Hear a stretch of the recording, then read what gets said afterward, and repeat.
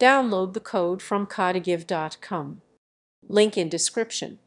In JavaScript, promise all and promise all settled are both methods used to handle multiple promises concurrently, but they differ in their behavior regarding success and failure. Promise all takes an iterable of promises and returns a single promise that resolves when all the promises in the iterable have resolved successfully. If any promise in the iterable rejects, promise all immediately rejects with that reason, and subsequent promises are ignored. This makes it suitable when you need all operations to succeed before proceeding. On the other hand, promise all settled also takes an iterable of promises but resolves only when all promises have settled, meaning either resolved or rejected.